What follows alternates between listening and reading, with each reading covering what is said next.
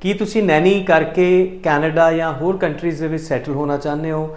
ਤਾਂ ਅੱਜ ਹੀ ਨੈਨੀ ਦੀ ਟ੍ਰੇਨਿੰਗ ਵਾਸਤੇ ਰਜਿਸਟਰ ਕਰੋ at win English Raikot road opposite Sonalika tractor agency ਸਾਡੇ ਕੋਲੇ 10 ਸਾਲ ਤੋਂ ਵੱਧ ਦੇ ਤਜਰਬੇ ਵਾਲੇ ਨੈਨੀ ਦੇ ਟ੍ਰੇਨਰਸ ਨੇ, ਜਿਨ੍ਹਾਂ ਦੀ ਆਪਦੀ ਕੁਆਲੀਫਿਕੇਸ਼ਨ ਬੀਐਸਸੀ ਨਰਸਿੰਗ ਹੈ ਔਰ ਬੀਐਸਸੀ ਨਰਸਿੰਗਸ ਨੂੰ ਬਹੁਤ ਦੇਰ ਦਾ ਟੀਚਿੰਗ ਦਾ ਐਕਸਪੀਰੀਅੰਸ ਹੈ। More than 10 year experience trainer ਹੀ ਤੁਹਾਨੂੰ ਪੜ੍ਹਾਉਣਗੇ ਔਰ ਬਹੁਤ ਹੀ ਥੋੜੇ ਟਾਈਮ ਦੇ ਵਿੱਚ ਤੁਸੀਂ ਨੈਨੀ ਨੂੰ ਕਰ ਸਕਦੇ ਹੋ, ਆਪਣੀ ਪ੍ਰੈਪਰੇਸ਼ਨ ਕਰ ਸਕਦੇ ਹੋ। 올ਡ ਏਜ ਕੇਅਰ ਦੇ ਵਿੱਚ ਜਾਂ ਚਾਈਲਡ ਕੇਅਰ ਦੇ ਵਿੱਚ ਸਰਟੀਫਿਕੇਸ਼ਨ ਹਾਸਲ ਕਰੋ। ਵਰਲਡ ਰਿਨਾਉਂਡ ਸਰਟੀਫਿਕੇਸ਼ਨਸ ਦੇ ਨਾਲ ਅਸੀਂ ਤੁਹਾਨੂੰ ਨੈਣੀ ਦੀ ਟ੍ਰੇਨਿੰਗ ਦਵਾਂਗੇ।